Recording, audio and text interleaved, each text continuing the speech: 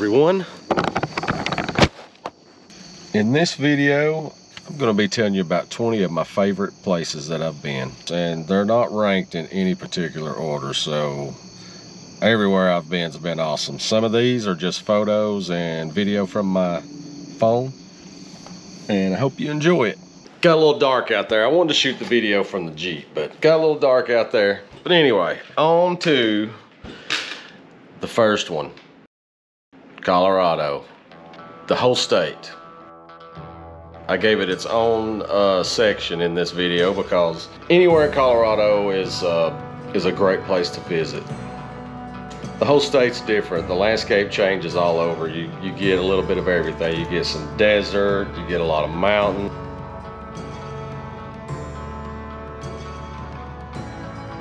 you're into the cannabis thing, the 420, then Colorado is definitely for you because it's legal.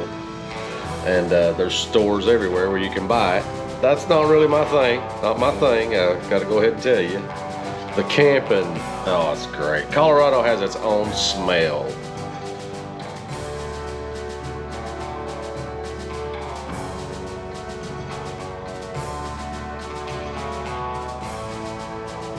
It's great waking up in the morning, looking outside of your tent at some of the mountain views.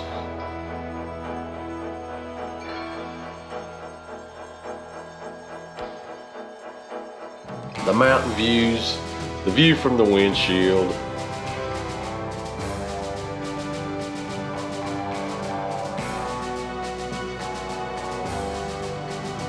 There's a few ghost towns in Colorado you can visit. I actually went up to St. Elmo Ghost Town. Beautiful mountain lakes. If you're a photographer, it'll be hard for you to put your camera down.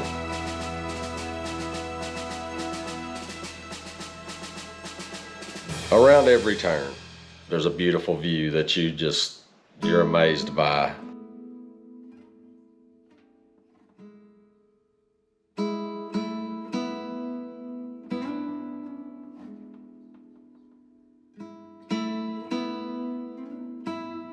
Abundance of hot springs.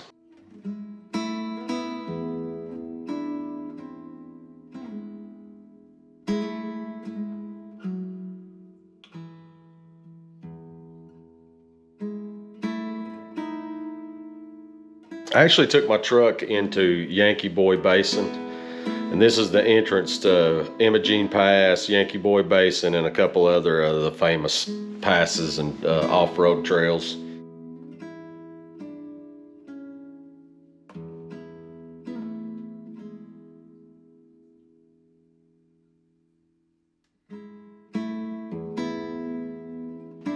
Off-roading, back roads, back country. So you have Denver.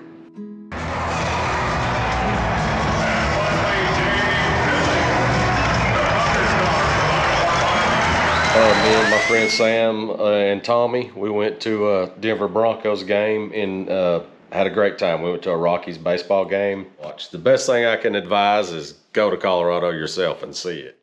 All right, number two of one of my favorite places to visit, Nemo Train Tunnel. In Morgan County, Tennessee. And I've actually been here numerous times, so many times. It's not far from where I live, and I love to go up there and go through the tunnel. Unfortunately, due to an accident, the tunnel is closed because it's on Norfolk Southern Railroad property and they have closed the tunnel. They used to not mind people driving through it, but since the folks were uh, irresponsible, now nobody can go through it.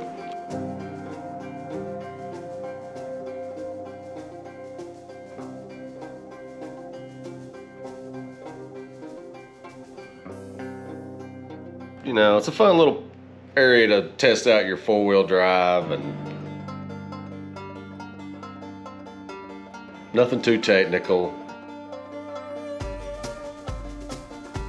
One of my favorite places to go just for a little day out.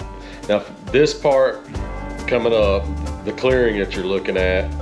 A man pulled his truck for some reason up onto the track, which is uh, an active track, and he got knocked down into the water below. But there's a trail on the side of the tunnel that's fun. There's a trail that you can uh, go back to a railroad bridge.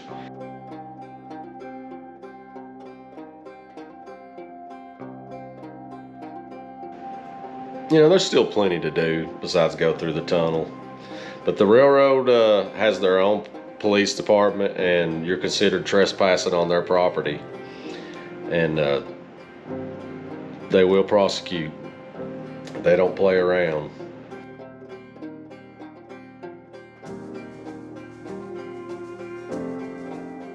It's still a fun place to visit. Maybe on your way to Big South Fork, which is also in this video, but we'll get to that in a few minutes.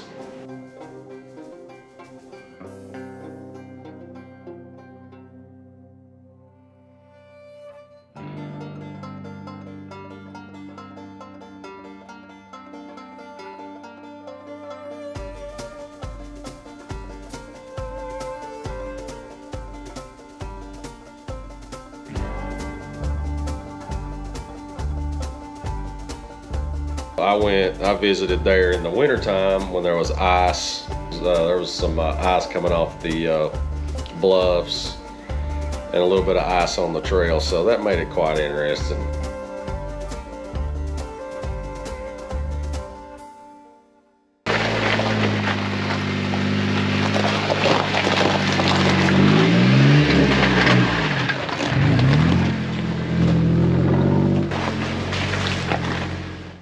Oh, and I also have to mention in this video, I'm celebrating a milestone for the channel.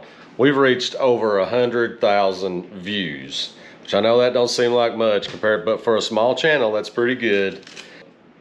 Yeah, I'm I'm pretty happy with that. So thank you very much for getting me to a hundred thousand views. And all right, on to the next place,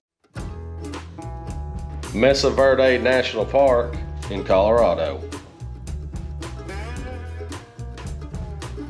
Cliff dwellings to explore. A lot of hiking. I took one of the longer hikes.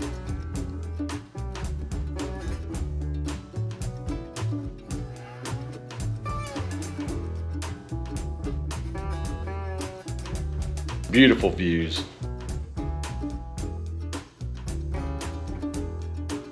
You're hiking actually on a ledge for part of it.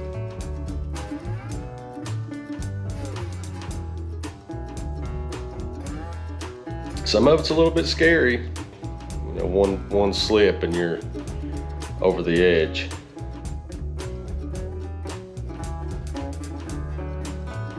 Some petroglyphs, which uh, indicate that UFOs have landed here.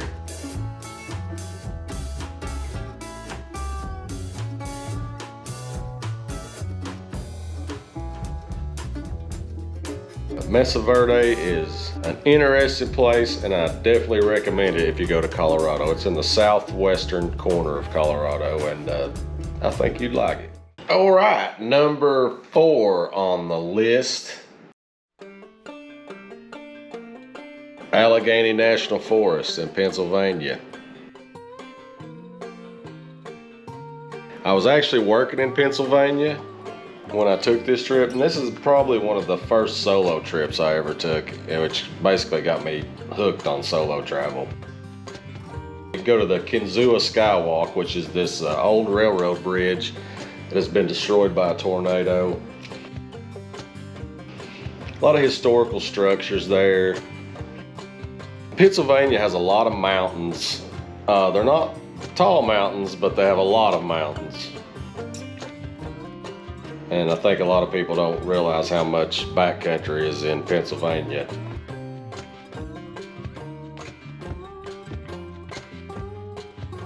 I did cross over onto the New York, uh, across the New York state line, drove a couple of miles into New York. So I've been to New York. We can mark that off the list and I don't need to go back. It's a photographer's dream.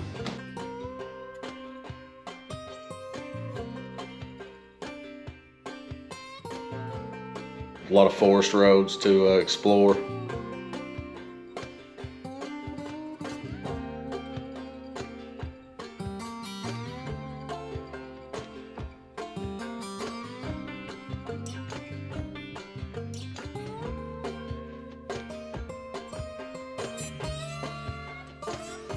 But the second night I stayed in a cabin at the KOA. Sometimes you gotta stay in a cabin. You know, you can't just camp all the time.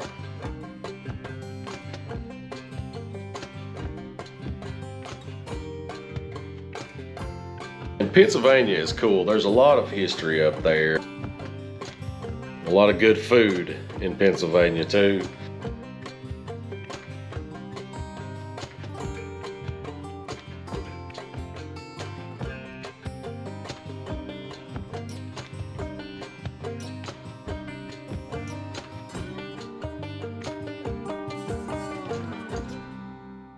Definitely recommend a trip to Pennsylvania. Number five. Wings Over America Air and Space Museum in Denver, Colorado. And this place was so cool.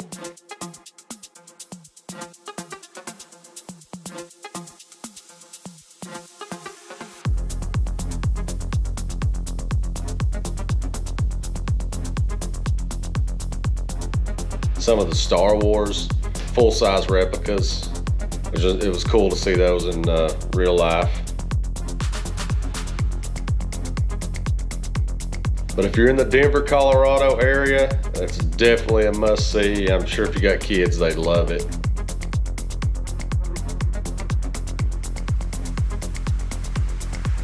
And some of these planes are so big you wonder how they even get them in the air. And some of them are so small, you wonder how they get them in the air.